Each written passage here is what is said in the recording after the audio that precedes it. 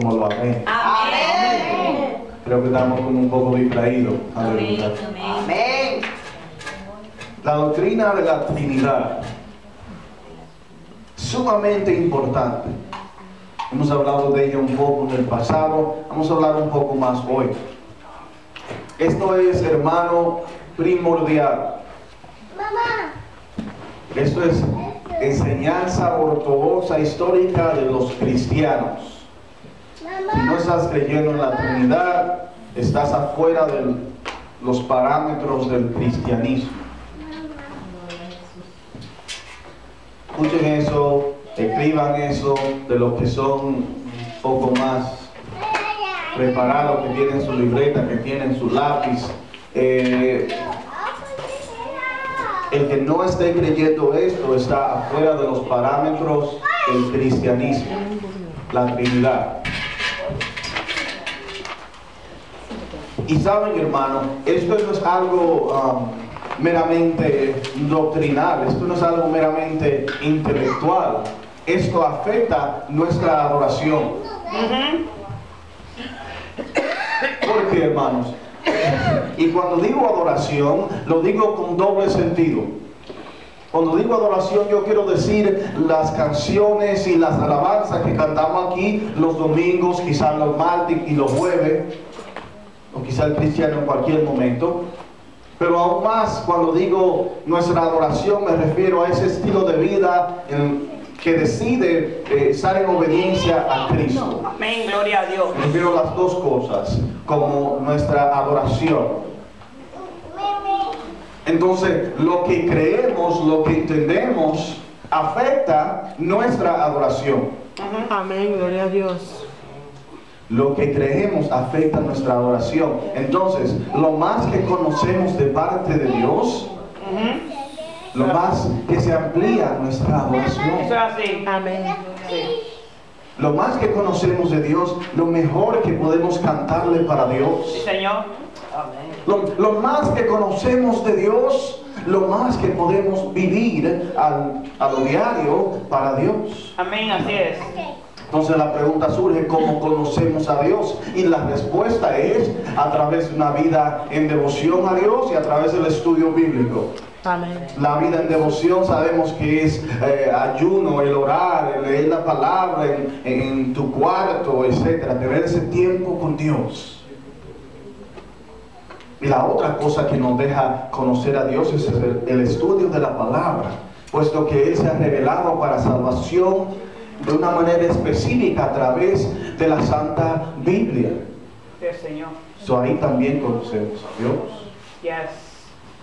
Y lo más que tú conoces, lo más que tú adoras. Amén. Sí es. La Trinidad. Lo que tú conoces o no conoces va a determinar lo que tú haces. Lo que usted conoce o no conoce determina lo que usted hace. Me recuerdo para comenzar con un ejemplo un poco negativo y fuerte a la misma vez.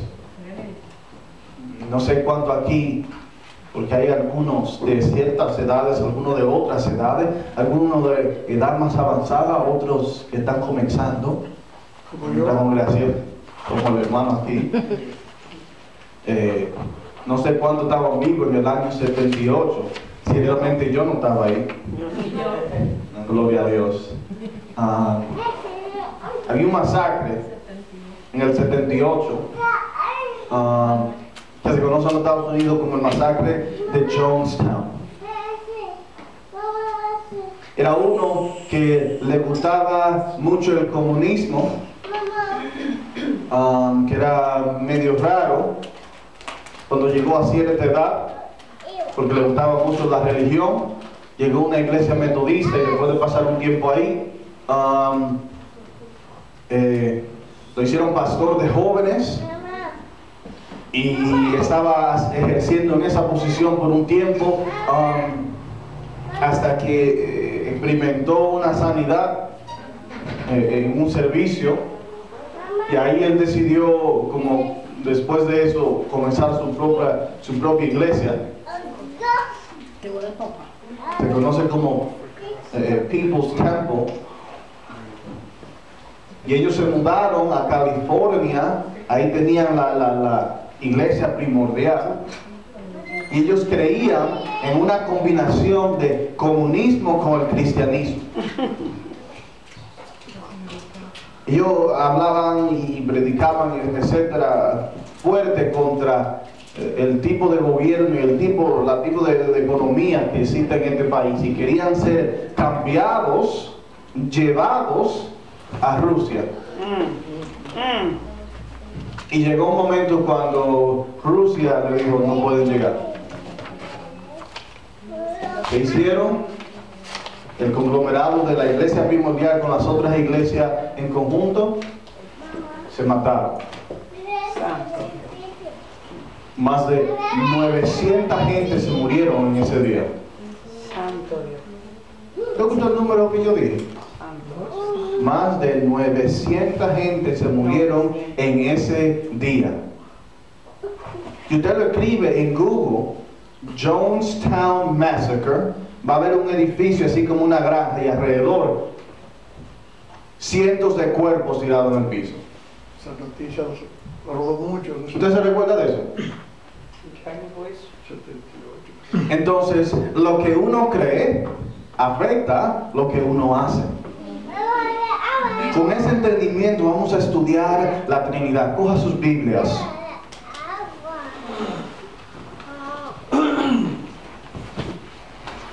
Si pudiéramos definir inmediatamente lo que es la Trinidad, entendemos por la Trinidad un Dios eternamente expresado en tres personas.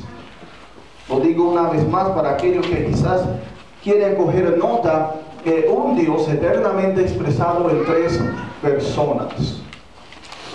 Y brincamos inmediatamente con esa definición en mente, entendiendo de que es un Dios, brincamos a Deuteronomio capítulo 6 y el verso 4. Lo que voy a hacer es que voy a repetir la cita dos veces para que para darle tiempo para encontrar. Y si no lo encuentra para esas tres veces que mencione la cita, ustedes simplemente escuchen. Amén. Amén. Deuteronomio capítulo 6 y el verso 4.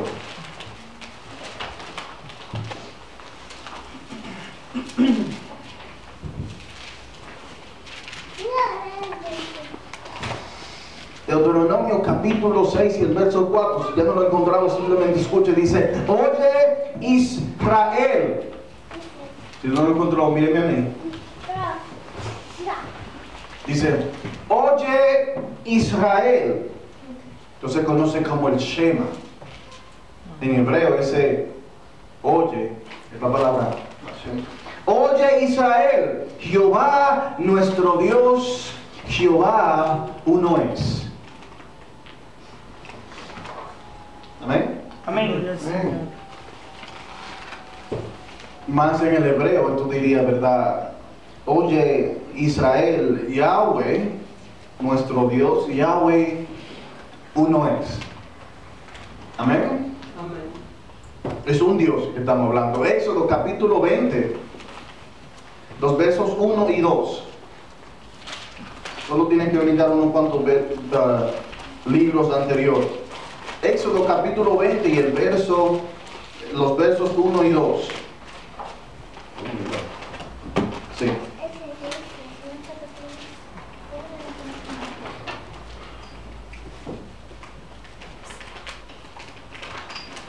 Éxodo capítulo 20, los versos 1 y 2. Si no lo he encontrado ya, simplemente escuche, míreme aquí. Dice, y habló Dios estas palabras diciendo, la, esto es la ley de Dios que le había dado a Moisés para el pueblo. Y habló Dios estas palabras diciendo, yo soy Jehová tu Dios, que te saqué de la tierra de Egipto, de casa de servidumbre. No tendrás dioses ajenos delante de mí. Alabado sea el Dios. So, si unimos Deuteronomio capítulo 6, verso 4 con Éxodo capítulo 20, los versos 1 al 3, entendemos, y esto sigue por toda la escritura, de que no son muchos dioses, no es un sistema politeísta que seguimos, es un Dios. Amén. Amén, gloria a No Dios. son muchos dioses, es un Dios que servimos. Es una religión monoteísta. Amén. Un Dios servimos. ¿Cuántos dioses? Un Dios. Es un, un contraste completamente diferente cuando ¿verdad? Moisés estaba escribiendo. Y quizás ha como continuado así. Aleluya. En el tiempo de Moisés, eh, digamos, en Egipto, en Asiria, en Babilonia, se creían muchos dioses. En el tiempo de Jesús, en Atenas, eh, eh, en eso de la, la- la religión greco-romana, se creía en muchos dioses. En India, en ese mismo tiempo de Jesús, había la creencia en muchos dioses. Hoy en día se ha desarrollado la creencia en muchos dioses. So, en sí el sistema como que no ha cambiado. El mundo como quiere tirarte que hay muchos dioses. Y tú puedes adorarlo a todito, servirlo a todito, y tú estás bien, etc. No, Dios viene a la escena y dice, hay un Dios. Alabado sea Jesús. Gloria al Le Señor. servimos a un Dios. Y si se recuerda de la definición que di de la Trinidad, yo dije que era un Dios eternamente expresado en tres personas. Pero ciertamente nosotros somos monoteístas. Amén. Amén, gloria al Señor. Pero cuando vemos, aleluya, cuando vemos las escrituras, cuando Dios está hablando, cuando Dios está revelando, algo como especial, como que resalta. Y eso es que Dios, siendo uno, es como complicado en eso de que es uno. En sí, en Deuteronomio capítulo 6, verso 4, cuando dice, oye, oh Israel, el Señor nuestro Dios, nuestro Dios es uno, esa palabra en el hebreo quiere decir unidad. Gloria a Dios. Santo. Eso está interesante.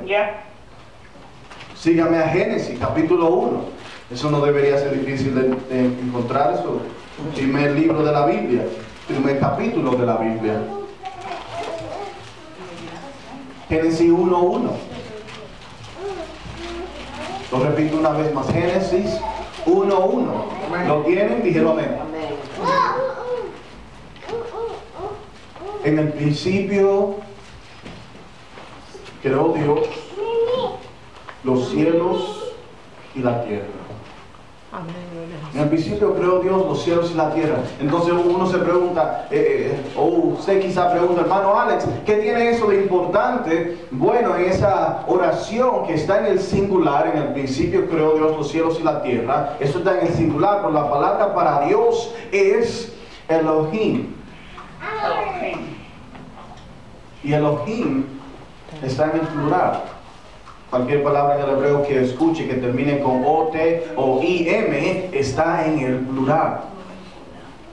So, sabemos que estamos hablando en el sentido singular, porque la oración está en el singular, pero cuando dice la palabra Dios está como en plural. Génesis capítulo 1 y el verso 26, en el mismo capítulo, pero el verso 26 dice, entonces dijo Dios. No dijeron otros, estamos hablando de un Dios, ¿verdad? Pero dice, entonces dijo Dios, hagamos al hombre a nuestra imagen conforme a nuestra semejanza. Y Señor, en los peces del mar, en las aves del cielo, en las bestias, en toda la tierra y en todo animal que se arrastra sobre la tierra. Pero lo que resalta de ahí la parte A que dice, hagamos, primera palabra que te debería resaltar, hagamos al hombre a nuestra imagen. conforme a nuestra semejanza. So, cuando Dios va a crear al hombre, dice, vamos a crear al hombre a nuestra semejanza, a nuestra imagen. ¿Con quién está hablando? ¿Quién es este nosotros que está hablando Dios? No son los ángeles, porque los ángeles no están creados en la imagen de Dios, no tienen la imagen de Dios. Aún más los ángeles no tienen poder creativo. Alabado sea el Dios del cielo. Pero a los ángeles, Él no se puede abrazar con los ángeles y decir, vamos a hacer, hagamos tal y tal cosa, porque ellos no pueden hacer. Los ángeles no hacen nada. Gloria a Dios. So. ¿Quién está hablando aquí? ¿Quién es este hagamos? ¿Quién es a nuestra semejanza? Alabado sea el Cristo del cielo. aleluya. Obviamente es un Dios, pero está como complicado este uno Dios. Uno, Dios. Y sigue el, el mismo patrón en Génesis 3, eh, versículo 22 y Génesis 11, versículo 7 menciona este nosotros, hagamos, vamos. ¿Quién es que está hablando? ¿Cuál es este plural? Amén. Amén. Génesis capítulo 18. Amén. Si lo tiene, diga amén. Amén. Génesis capítulo 18. Amén. Amén. Génesis capítulo 18 comienza diciendo, después le apareció Jehová en el encinar de Mamre, estando él sentado a la puerta de su tienda en el calor del día, y alzó los ojos y miró. Y aquí tres varones que estaban junto a él, y cuando los vio, salió corriendo de la puerta de su tienda a recibirlos, y se postró en tierra y dijo, Señor, si ahora he hallado gracia en tus ojos, te ruego que no pases de tu siervo. ¿Qué está pasando aquí? Abraham está en la tienda en un día caliente, se acercan tres y él dice, Señor, A uno A solo. uno solo. a tres él se refiere como en el singular. No vamos a entrar con mucha profundidad en los otros dos, ¿verdad? Porque sabemos que eventualmente esos son ángeles y seguimos leyendo por ahí. Pero otra cosa sí resalta. Él le dice Señor a tres, le dice uno a tres, pero otra cosa resalta. Si Dios está sentado en gloria en el cielo, ¿quién es este que se apareció? Mm. O, tú te fuiste de tu trono, o algo raro está pasando aquí. ¿Cómo, Querido es nuestro Dios, aleluya. cómo es que está aquí a- al frente mío, Mm. pero también está sentado allí en gloria? Santo. Una multiplicidad. Este, este Dios que es uno, está como complicado, ¿verdad que sí? No hay mucha interpretación, lo estoy dando como los hebreos, el pueblo de- que salió de Abraham, Isaac y Jacob, como ellos lo hubieran visto. Ellos no tenían explicación para esto, pero lo hubieran resaltado como raro. ¿Por qué Moisés usó la palabra Elohim como plural, refiriéndose a un Dios? ¿Cómo es que se está apareciendo este, pero sabemos que él está sentado en el cielo? Esto está como medio raro, ¿verdad que sí? Salmos, capítulo 110, escuche cómo dice. Si no sabía buscar a través de la Biblia, hoy va a aprender, ¿verdad que sí? Amén. Salmo 110 y el verso 1.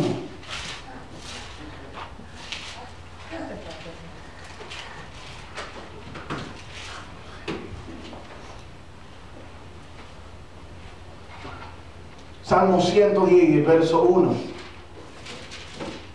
¿Lo tiene? Dígame. Amén. Jehová dijo a mi Señor, siéntate a mi diestra hasta que ponga tus enemigos por estrado de tus pies. Pausa. Qué Dios. Algo raro está pasando aquí. Si yo fuera un, un judío escuchando esto en el templo, yo le hubiera dicho al sacerdote, párate ahí y explícame eso. ¿Cómo es eso? Porque en hebreo, ¿tú sa- ¿usted sabe cómo esto suena? Le dejo entender. Y Yahweh le dijo a mi Yahweh, siéntate a mi diestra. Santo Jesús. ¿Pero ¿Y cuántos Yahweh son? Dios le dijo a Dios. Yahweh le dijo a mí, porque cuando ve Señor, hermanos, cuando ve Señor en el Viejo Testamento, eso es una traducción que se hizo para mejor nosotros entender. La mayoría, si no todas las veces que usted ve la, la palabra Señor, en el Viejo Testamento, en el hebreo original, la, la palabra es Yahweh. So aquí dice, Yahweh le dijo a mi Yahweh, siéntate a mi diestra. Wow. Qué lindo, Jesús. Proverbios, el próximo libro que sigue, Proverbios, capítulo 30.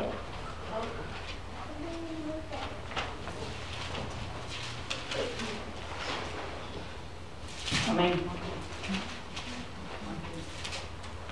Yo me imagino que hasta ni David entendió eso cuando lo escribió. David, ¿cómo es eso que Yahweh le dijo ayer? Yo no sé, me lo envió el Espíritu de Dios. Gloria a Dios. No, fue así, gloria a Dios. Proverbios, capítulo 30 y el verso 4. Gloria a Jesús. Proverbios, capítulo 30 y el verso 4. ¿Se lo tienen? Dígame. Amén. Proverbios capítulo 30 y el verso 4 dice de esta manera. ¿Quién subió al cielo? Está como medio parecido al libro de Job. ¿Quién subió al cielo y descendió? ¿Quién encerró los vientos en sus puños? ¿Quién ató las aguas en un paño?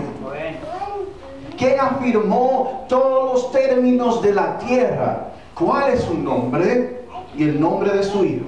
Si sabes. Alabado sea Cristo. Aleluya. Ahí está su hijo. Esta porción aquí está diciendo, mira, eh, tú que te crees mucho, tú conoces a Dios, que hizo los cielos y la tierra. Tú conoces a Dios y a su hijo. ¿Cuál hijo? ¿Cuál hijo? Para el que está escuchando esto por la primera vez, en ese tiempo, en la antigüedad, yo no sé si ellos lo hicieron, pero yo hubiera dicho, ¿cuál hijo si es un Dios? Seguimos, Isaías, son unos cuantos libros después. Isaías, vamos a hacer una pequeña encuesta a través de toda la escritura, un pequeño panorama por toda la escritura para ver. Isaías capítulo 6,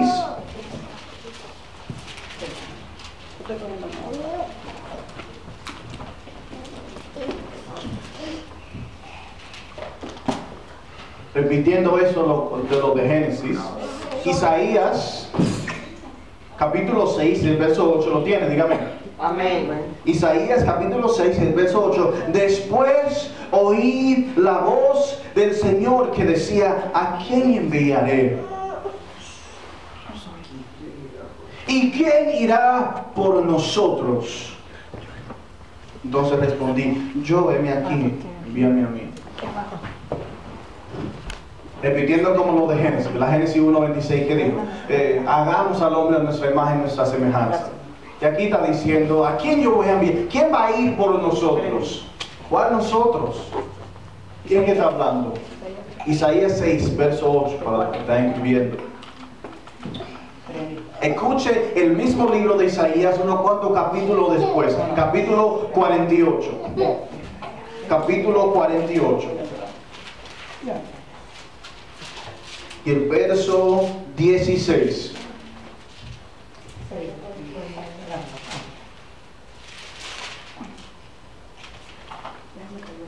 Y entienda mientras estemos leyendo, aquí está hablando Dios. Ok, ya está hablando, ¿lo tienen todos? Isaías 48, verso 16. Aquí está hablando, ya está hablando Dios. Amén. Para que sepa un poco. Acercaos a mí. Oíd esto. Desde el principio no hablé en secreto. Desde que eso se hizo, allí estaba yo. Jesús. Y ahora me envió Jehová el Señor Amén. y su Espíritu. Aleluya. Vamos a leer eso una vez más. Acercaos a mí, oíd esto. Desde el principio no hablé en secreto. Desde que eso se hizo, allí estaba yo. Y ahora me envió Jehová el Señor y su Espíritu. Toma. Esto está explosivo respecto a esta doctrina, hermanos. Porque sabemos que Dios está hablando aquí y Dios dice, Dios hablando, me mandó Yahweh y su espíritu. Qué lindo Jesús. Santo es el Señor. So, obviamente hay como una multiplicidad para la unidad que es Dios. Hay algo complejo para lo uno que es Dios. Amén. Amén, gloria a Dios. Y es- esto no es un concepto que quizás es tan difícil de comprender. Conocemos de unidades todo el tiempo. Por ejemplo, universidad. Y en sí la palabra quiere decir uno de diversas cosas. La palabra universidad, 28, 16. ¿qué quiere decir en estos días modernos? La palabra universidad. Son varios colegios, varias escuelas que en sí hacen una universidad. Una universidad puede que tenga una escuela de ley, una de medicina, una de pedagogía y Amén. todas esas escuelas conjunto hacen una universidad. Amén. Amén. El ser humano ciertamente tiene diferentes órganos y piezas y etcétera, pero es un cuerpo. Mm. El cuerpo es una unidad, ¿verdad que sí? Amén. Son varias partes que que juntos hacen un cuerpo. Ujú. So, Dios de una manera u otra está dejándose entender como una unidad. Uno, pero complejo en eso de que es uno. Y como he mencionado en el pasado, como hemos visto, la doctrina de la Trinidad ya estaba ahí en la antigüedad. Pero estaba como un poco difícil de entender, un poco difícil de verla. Estaba como si fuera como en penumbra, como en oscuridad. Pero vino la luz del mundo. Aleluya. Aleluya. Qué lindo el Señor. Vino la luz del mundo. ¿Quién? Jesucristo. Amén. Amén. El ejemplo que he dado como un cuarto en penumbra, como un cuarto en oscuridad. Ahí ya tanto la mueblería, ¿verdad que sí? El mueble, la mesa, la silla, etc. Pero cuando está saliendo, cuando está así como de noche no se ve todo. Pero cuando comienza a salir el sol, todas las piezas se ven. Amén. Gloria a Dios. Brinque conmigo a Mateo, capítulo 3. Mateo es el primer libro del Nuevo Testamento. Mateo capítulo 3. Si lo tiene, dígame. Amén. Amén. Viene la luz del mundo que es Jesucristo y alumbra esta doctrina completamente. Mateo capítulo 3, eh, los versos 16 al 17. Amén. Mateo capítulo 3, versos 16 y 17 dice, y Jesús, después que fue bautizado, subió del agua, subió del agua. Y he aquí los cielos fueron abiertos y vio al Espíritu de Dios que descendía como paloma y venía sobre él. Y una voz del cielo que decía, este es mi Hijo amado en quien tengo complacencia. Aleluya. Qué lindo el Señor. So, aquí está este Jesús saliendo de las aguas bautismales. Hay una aparición antropomórfica. Ale, ¿cuál palabra fue esa? Son dos palabras del griego, antropos y morfía, antropomórfico, quiere decir cambiarse en algo que es humano. Hay una aparición antropomórfica. Él sale de las aguas y el espíritu, en forma antropomórfica como de paloma, se sienta encima de él. Alabado sea Dios. Aleluya. Entiéndalo, digo una aparición antropomórfica porque eh, el Espíritu Santo es eso, es espíritu, es algo incorporal, no es algo que se ve, ni se siente, ni se toca, sin embargo se manifiesta como una paloma y se sienta encima de él. Amén. Gloria a Dios. Entonces, otra aparición antropomórfica, la voz, una voz del cielo, ¿entiendes? Sonido son vibraciones en el mundo físico. también eso es algo físico que se manifiesta, aleluya, para nosotros los seres humanos poder experimentar. Una voz del cielo que dice, este es mi Hijo amado, el cual tengo complacencia. O sea, aquí tenemos Jesús que eventualmente se revela a él mismo como Dios y dos otras cosas más apareciéndose ahí eh, en medio de su bautismo. Bendito sea Jesús. El mismo libro, Mateo capítulo 28 y el verso 19.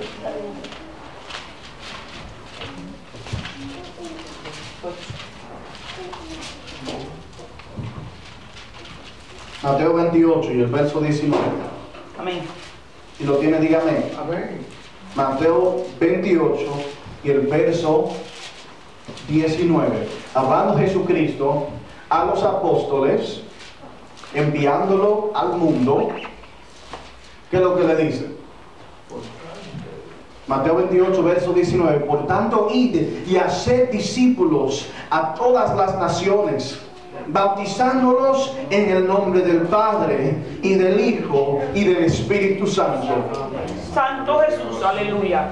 Algo raro está pasando aquí porque el nombre de Dios, Él está hablando a judíos, hermanos.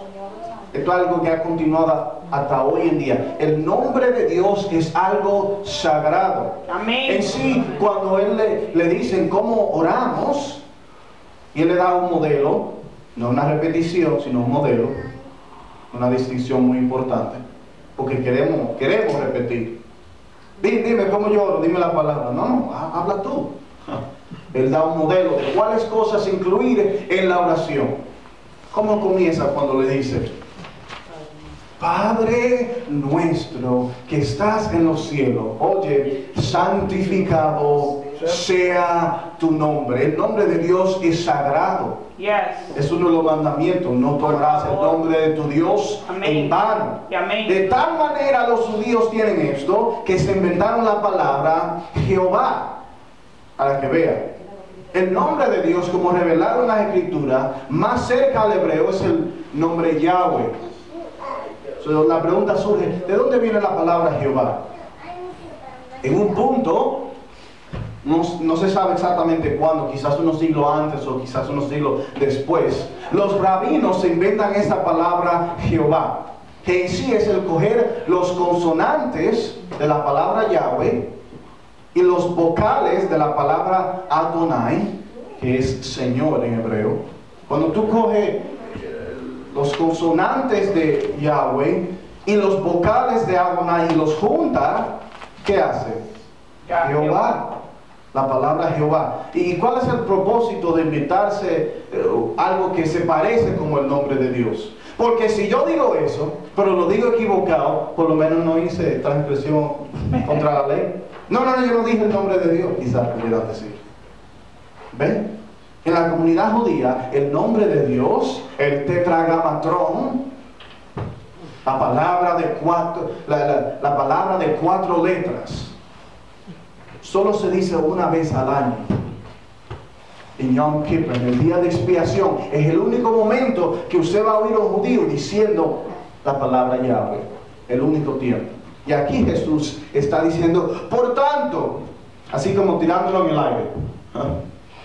Pero lo hace con una razón, con un motivo. Por tanto, ir y hacer discípulos a todas las naciones, bautizándolos en el nombre del Padre y del Hijo y del Espíritu Santo. Hay como una igualdad del nombre del Padre y del Hijo y del Espíritu Santo que aquí Jesús nos está dejando entender. Los nombres de, de los tres son como igual. Tú lo puedes mencionar los tres a la misma vez. Son igual. Gloria al Señor. Primera de Corintios, sígame.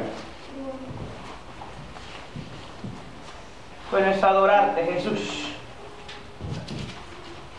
Primera de Corintios, capítulo 12.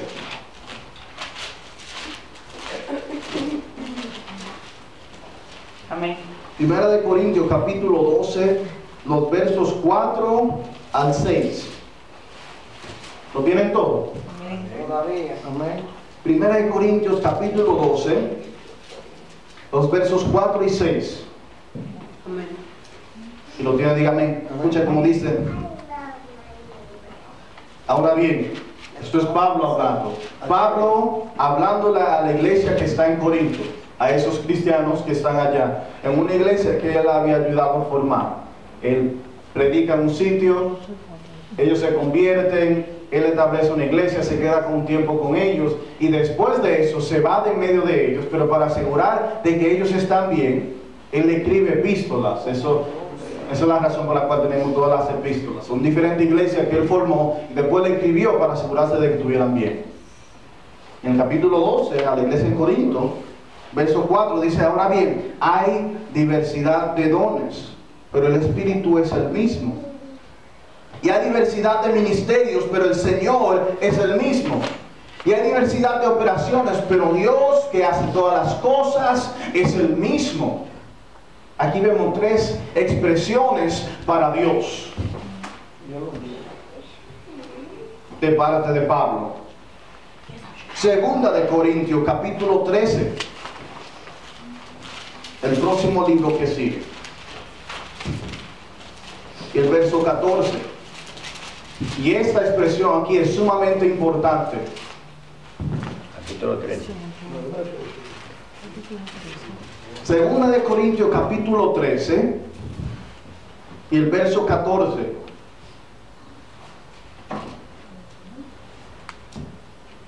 Escuchen cómo dice, ¿lo tienen todos? Amén. Segunda Corintios 2, eh, 13, versículo 14. Por la gracia del Señor Jesucristo, el amor de Dios y la comunión del Espíritu Santo sea con todos vosotros. Amén. Aleluya. Ahora, esto no es la única, el único tiempo que uno encuentra esta expresión en las epístolas de Pablo. Y lo que tenemos que entender, muchas veces cuando vemos que Pablo repite una cosa, era porque era o una enseñanza o una canción de la iglesia en el primer siglo. Voy a repetir eso. Cuando vemos que Pablo repite ciertas frases, oraciones, eso es una indicación de que esa cosa que Pablo está repitiendo en diversas de sus epístolas es una doctrina que enseñaba la iglesia, una oración específica que hacía la iglesia o una canción de la iglesia. So, imagínense, imagínense, eh, posiblemente esto era una canción de la primera iglesia. La gracia del Señor Jesucristo, el amor de Dios y la comunión del Espíritu.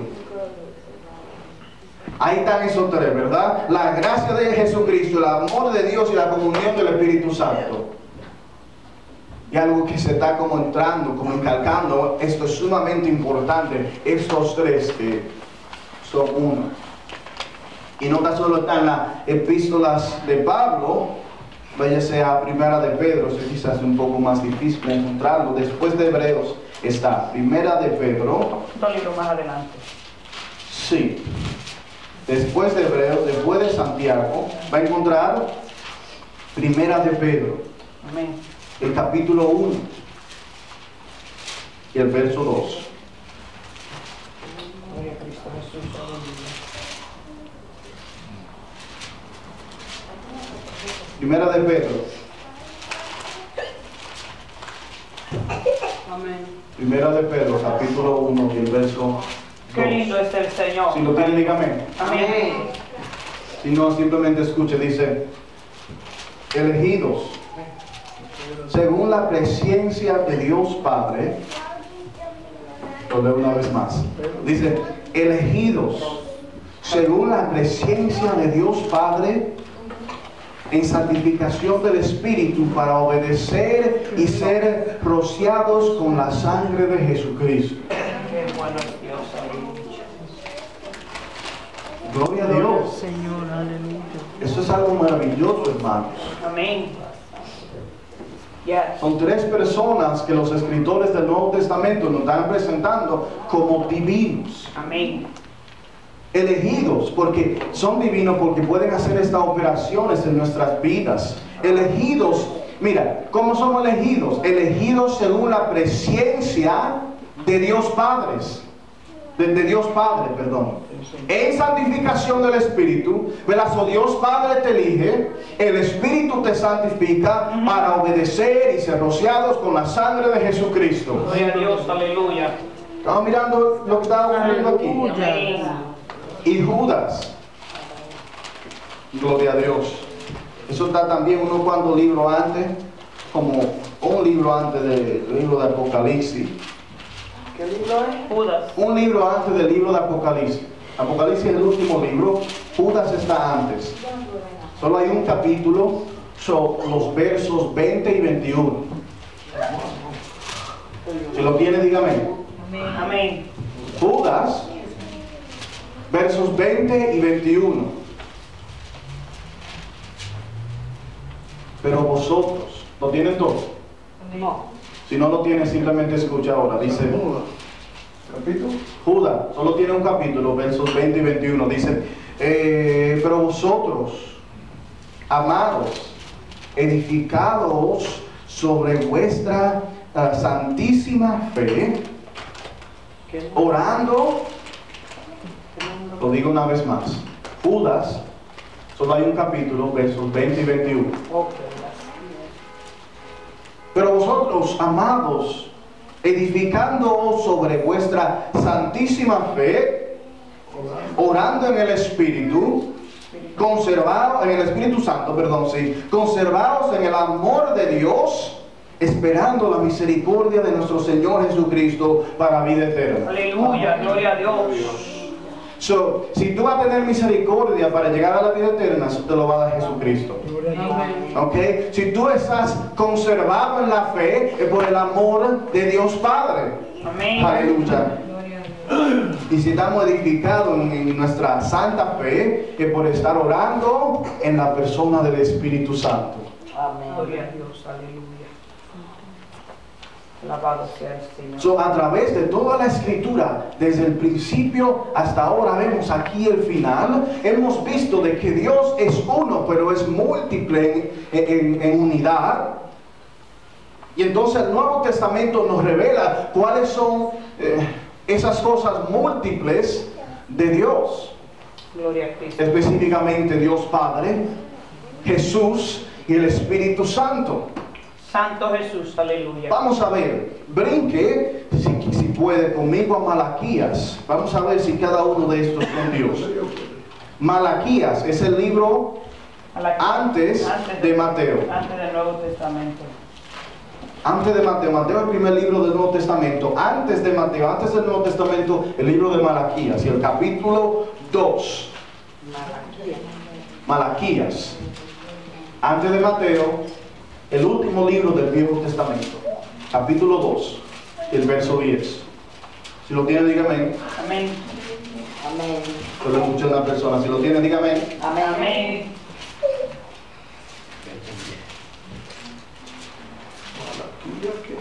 Dos diez. Malaquías capítulo 2 y el verso 10. Amén. Amén. ¿Lo tienen todo? Amén. Amén. No tenemos todos, la- claro, está hablándole a, a los que están en Israel, los que están en la fe. Quiero hacer un paréntesis. No todos son hijos de Dios. No, no todos somos hijos de Dios. Amén, gloria a Dios. Gloria a Jesús. No, porque tú sabes, yo pongo a Dios por delante cuando yo salgo por la mañana y todos somos hijos de Dios. No. La palabra dice que aquellos que creyeron en Él, que confiaron en su nombre, que confían en la persona, el sacrificio y la resurrección de Jesús, a esos, y lo tuve que gritar para que lo escuche, a esos, los que ponen su fe y su confianza en la obra y la resurrección de Jesús, esos se le da la potestad, la autoridad de ser llamados hijos de Dios. Amén, gloria a Dios. Pero dice aquí en Malaquía capítulo 2, verso 10, no tenemos todos un mismo Padre. No nos, has crea- no nos ha creado un mismo Dios. Porque pues nos postramos delante de- deslealmente el uno contra el otro, profanando el pacto de nuestros padres. Pero la parte importante son esas dos primeras preguntas. No tenemos un mismo Padre. No nos ha creado un mismo Dios. Aquí refiriéndose a Dios como Padre, como el Padre. Yes. Romanos, capítulo 9, está en el Nuevo Testamento. Tenemos los cuatro evangelios, Hechos y después el libro de Romanos, capítulo 9.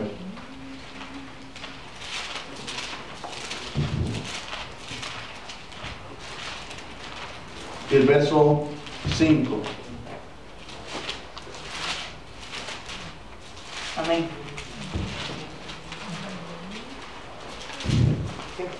Si lo tiene, dígame. Amén. Romanos capítulo 9 y el verso 5. ¿Lo tienen todos? Amén. Romanos capítulo 9 y el verso 5. Si no lo tiene hasta ahora, simplemente mírame Amén. y escuche. Dice,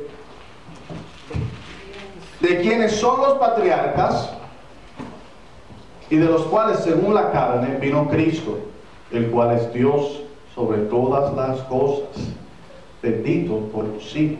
Amén. Amén. So, ¿Qué es Cristo? Dios. Que se pasaba todo el tiempo diciendo Dios Padre, porque el Padre que está en los cielos. ¿Qué nos dice Pablo aquí de- acerca de Cristo? Vino Cristo Jesús, el cual es Dios sobre todas las cosas. Y Aleluya. brinque un libro anterior, al libro de Hechos, capítulo 5, los versos 3 y 4. Aleluya y gloria a Dios.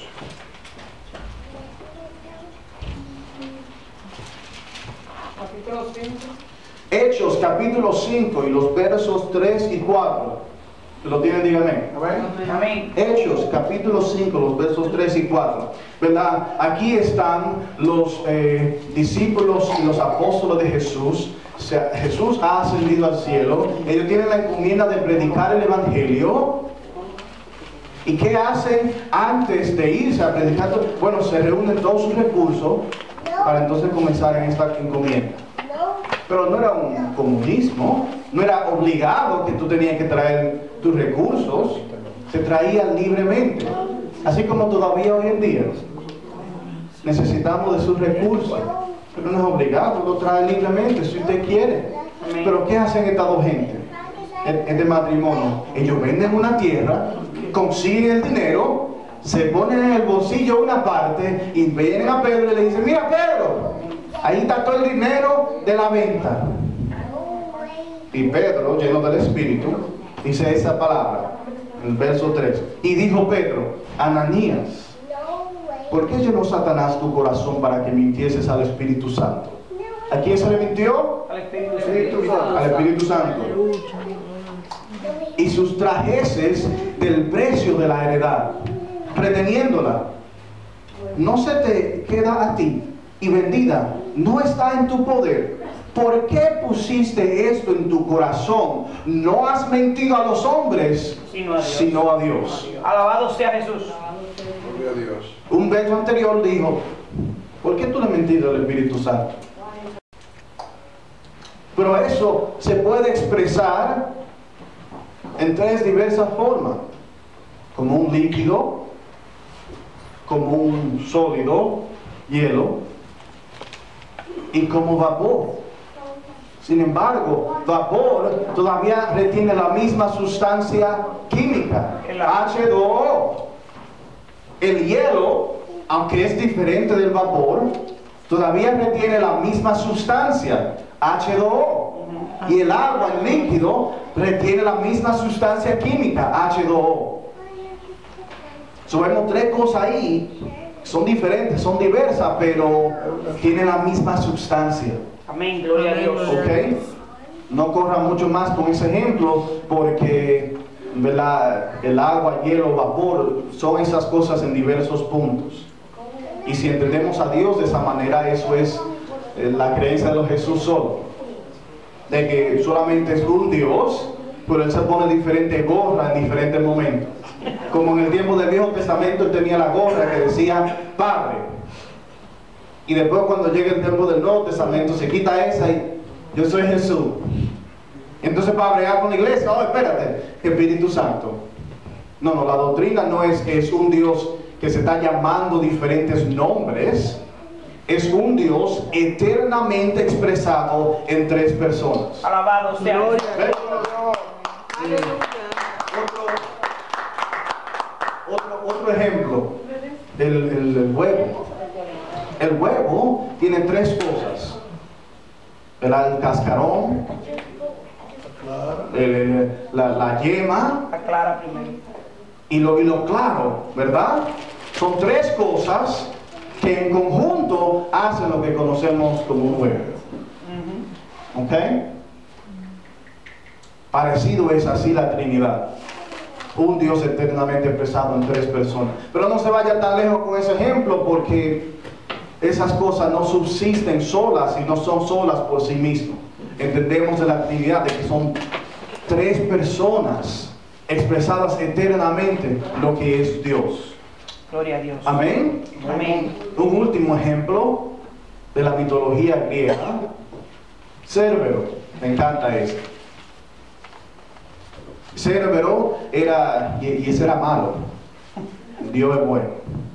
Cerbero era el guardián del Hades. Del infierno de la mitología griega había un perro, se llamaba Cerbero, él guardaba la entrada. Cerbero tenía tres cabezas. Es decir, si Cerbero fuera al nivel del entendimiento de un ser humano, ¿verdad? Cada una de esas cabezas fuera una serie de facultades mentales. Y entre paréntesis, eso se ha visto recientemente, una muchacha en el país de Estados Unidos con dos cabezas. Un cuerpo, dos cabezas. animales no ha sido así.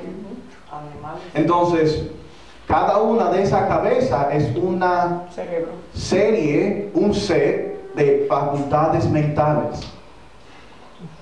De la misma manera, es un Dios, digamos, con tres facultades mentales. ¿Entendió eso? Amén. ¿Vio eso? Ahora, no se vaya tan lejos con el ejemplo. Cerbero es físico, Dios es Dios es espíritu. Amén. So, cuando se vaya a imaginar a Dios, no se imagine un Dios de que contra cabeza. Dios no es físico. ¿Ve? Pero así como Cerbero es un Dios que está expresado en tres personas, o un Dios que tiene tres facultades mentales. Alabado sea Jesús. Amén. Amén. ¿Vieron eso? Amén. Ahora, lo hermoso de la Trinidad, la razón por la cual creemos esto, primeramente porque lo enseña la Biblia. Hay gente que tiene debate con esto, no que un Dios, no que son tres. Es un Dios expresado eternamente en tres personas.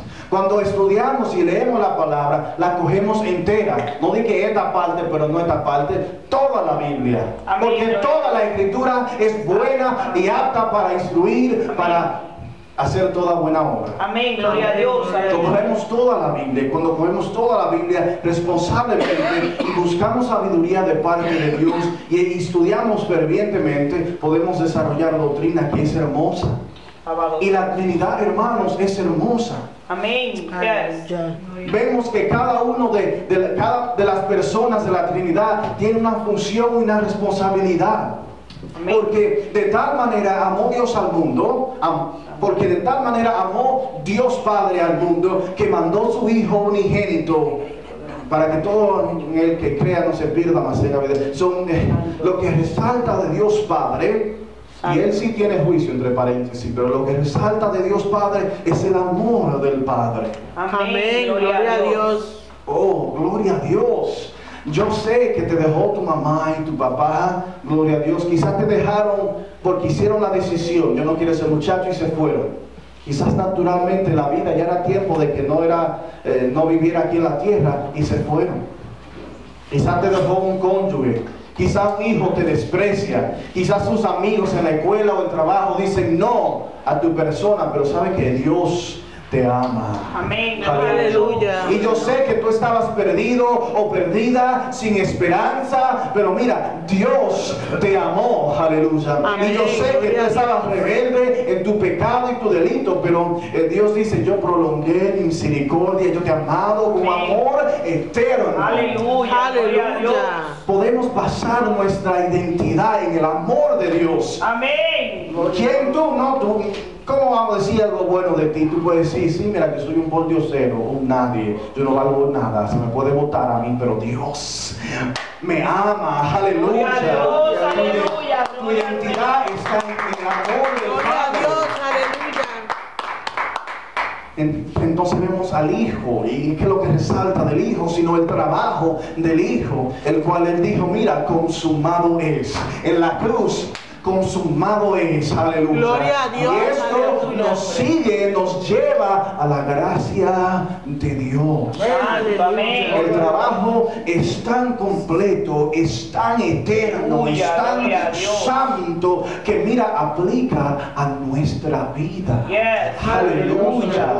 Ale- Ya no necesitamos tus obras para que tú llegues al cielo. Necesitamos la obra de Cristo nada más. Amén. El regalo de salvación es eso mismo. Yes. Un regalo. Tú no te lo mereces. Es gracia. Amén.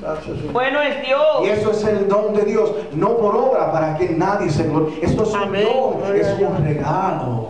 Gloria a Dios. Aleluya. Y como he dicho en otras ocasiones, la gracia de Dios no está solo, está ahí, mira, para cuando tú caes. No, porque yo sé si yo caigo, yo le pido perdón a Dios, mira, pero tú no tienes que caer, aleluya. Es la gracia de Dios, es el trabajo, escúcheme, es el trabajo de Cristo en la cruz lo que te sostiene. Es esa gracia lo que te Gloria a Dios. mantiene, Aleluya. aleluya. Aleluya. Gloria a Dios. Señor. Para Y- siempre. Y, y de lo que resalta del Espíritu Santo es, eh, gloria a Dios, es la ayuda. Amén.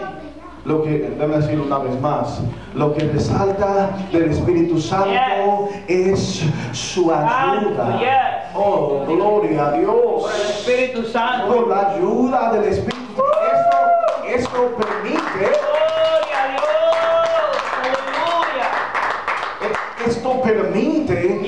Que, nosotros podamos vivir la vida cristiana. Eh, la ayuda del Espíritu Santo permite que tú puedas vivir la vida cristiana. Ay, yo no quiero ir a la iglesia hoy, pero el Espíritu Santo, mira, como que empuja. Y uno dice, mira, yo como que necesito ir, aleluya. Y viene uno para tentarte, te dice, mira, trata un chin de esta marihuana que esta sí es buena. Y el Espíritu Santo ahí mismo te ministra a tu cuerpo no, no, no, eso no te conviene, eso no le agrada a Dios, aleluya. Y, y a veces uno se pone a orar y uno lo que comienza a decir son disparates, pero el Espíritu Santo coge eso y lo transforma algo que lleva a Dios y es agradable. La ayuda del. Espíritu Santo, Santo. qué bueno es Dios. ¿Y saben qué, hermano? Ese fue, ese fue el secreto de Jesucristo en, la, eh, en su vida, perdón, no la cruz, en toda su vida. Si él hacía algo porque era dirigido y lleno del Espíritu Santo de. Dios. Porque me ungió Jehová con su. Espíritu. Si usted quiere tener victoria, necesita obligado la ayuda del Espíritu Santo. Amén.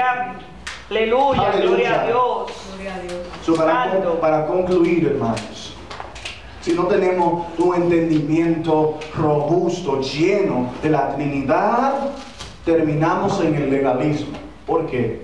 Porque cuando no tenemos un entendimiento completo de la Trinidad, terminamos haciendo nosotros el trabajo de uno de los miembros de la Trinidad. Eso es legalismo. Yep. No, y no sirve. ¿Sabe qué? Y no sirve. Amén. ¿Ok? Deje que la Trinidad haga su obra. Amén. Aleluya. Deja que la Trinidad haga su obra. Vamos, vamos a entender. Y, me encanta esa palabra robusta. Me recuerdo una vez yo estaba escribiendo una, una carta de invitación a, a Aleluya para una campaña. Y yo estaba en high school todavía en ese momento y el maestro de español estaba al lado de mí. Y yo había terminado y yo le dije, Carlos, creo que se llamaba, eh, tú me puedes leer esa carta para yo seguramente que, de que eso está bien ahí. Y yo había usado la palabra, ¿verdad? que el Señor le bendiga y que lo colme de, ricas bendiciones.